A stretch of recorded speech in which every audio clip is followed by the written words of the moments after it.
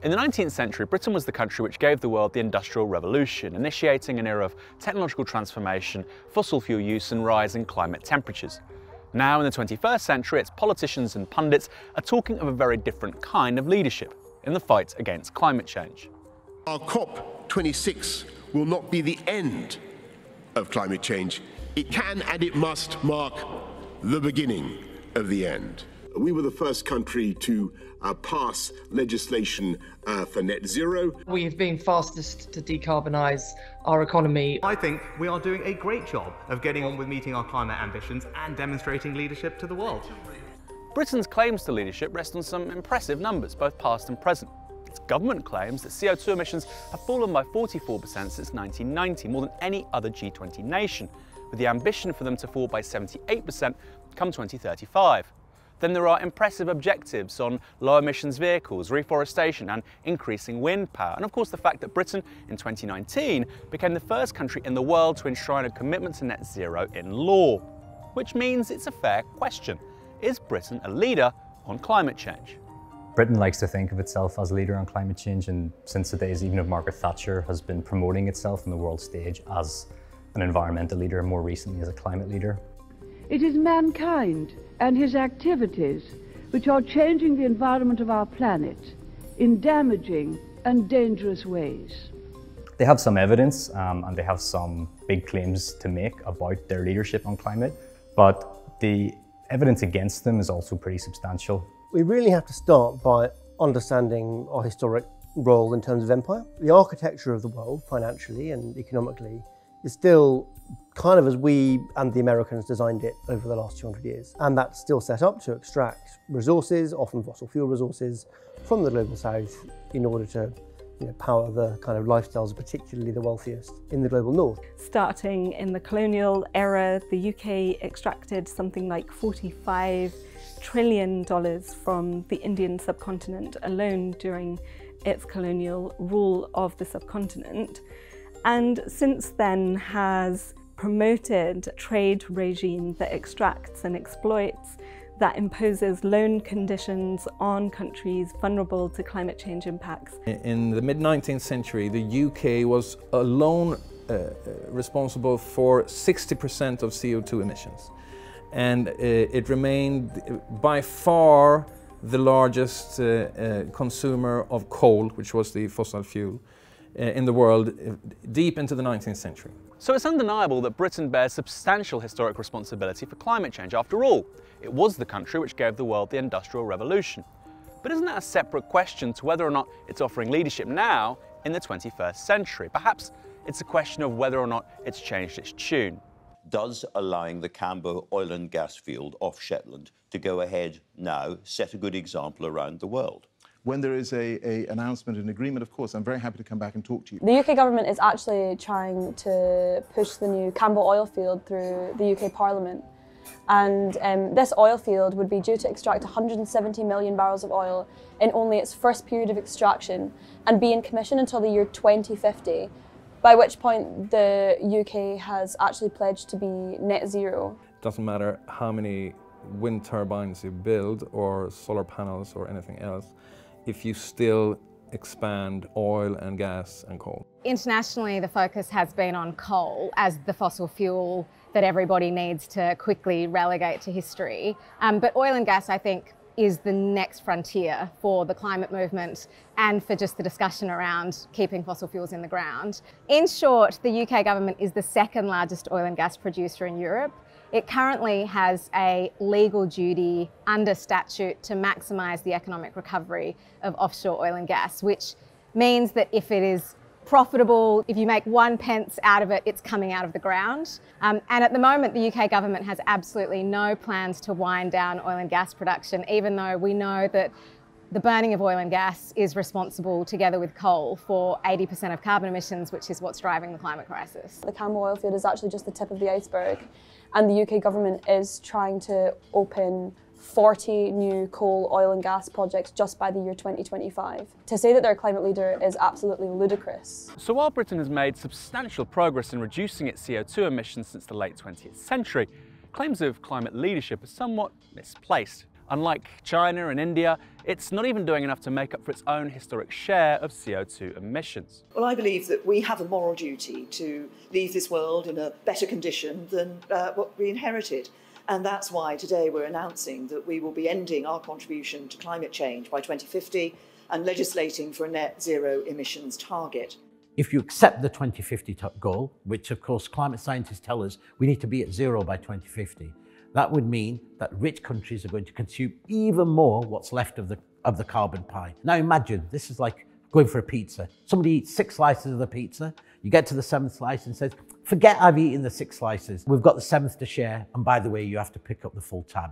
Now this is both immoral uh, and it's illegal in international law because it's written that rich countries, in the convention, that rich countries would do their fair share of effort. If we were going to fairly allocate emissions to keep in line with Paris Agreement targets, the UK has emitted something like 200% of its fair share, and that requires drastic reductions now within the UK, and it requires helping countries within the global south that are on the front line of climate change impacts to make the transition themselves. Can there be peace and prosperity if one third of the world literally prospers and the other two thirds of the world live under siege and face calamitous threats to our well-being? The reason why there's a vulnerability in the world, the reason why half the world is locked in poverty, the reason why 2 billion people go hungry, billions of people don't have access to health and education, is because we are stealing money from the global south. Each and every dollar that the global north sends to the global south, $24 flies the other way. The idea that the north is giving charity to the global south, no, the global south has built the global north and it's now time for reparations. It's now time for redistributing wealth and technology. We have to, the only way to solve these crises is cooperation and solidarity, not profit and competition. Today, I'm announcing that the UK will go further and become the first ever net zero aligned financial centre. You know, I think that the main role that the British state really has and that Britain has in climate politics is as the main protector of the wealth of these kind of carbon billionaires. And um, without understanding that role, you can't really get your head around why it is that Britain, I think, is still one of the most responsible countries in the world for climate change. Britain's climate leadership, I would say, is pretty strongly undermined by the fact that they don't really want to talk about the dirty secret, which is the role that the financial system plays in perpetuating, you know, the fossil fuel industry, but other industries like steel and cement, and basically kind of having a stranglehold over the real economy. There's that remarkable statistic that if the City of London were a country, it would be the world's ninth largest emitter, I think, just based on you know one year of carbon emissions from banks and asset managers. And that doesn't even include the insurance sector, without which you know none of these fossil fuel projects would go ahead. Um, and so we can talk all we want about decarbonizing our own energy system, but the reality is that we're you know propping up carbon emissions throughout the world um, and not really willing to do anything about that. The UK is rigging the rules through its involvement in the IMF and the World Bank in restricting the space that developing countries have to invest in the systems that are going to help them transition and improve their resilience to climate change impacts that they did very little to cause. Given that most countries in the global south have contributed minimally to this crisis, they have also um, been restricted in what they can do due to loan conditions that UK banks, UK governments, UK funded multilateral institutions like the IMF and the World Bank have imposed on them the money that is on the table, 80% of it is in debt creating loans.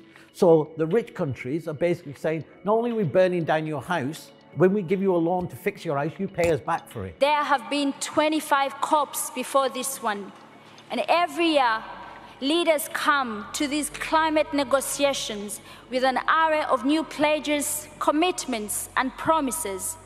And as each COP comes and goes, emissions continue to rise. If the UK was to be a leader, it would take responsibility for the fact that its outsized emissions are contributing to climate change impacts today and pay for repairing the consequences. It's estimated that half a million children under the age of five are experiencing a climate-induced famine in Madagascar. 300,000 people are being impacted by floods in the DRC. The average person in the UK emits something like 65 more times CO2 than the average person in the DRC, 45 times more the average person in Madagascar. So real leadership would look like reducing emissions here, but paying for the consequences of accelerating climate change impacts in the global south.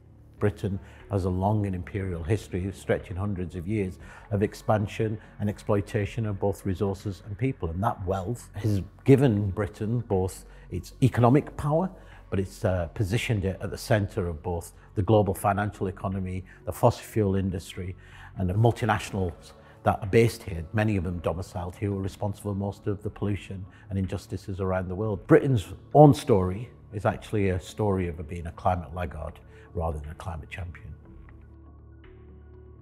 So is Britain a leader on climate change? Well, despite what the politicians and media pundits might say, not really.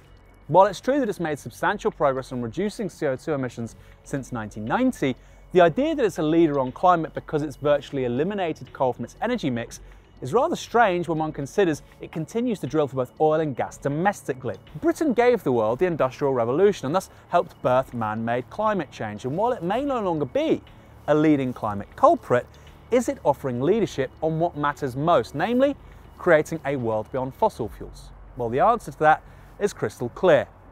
Absolutely not.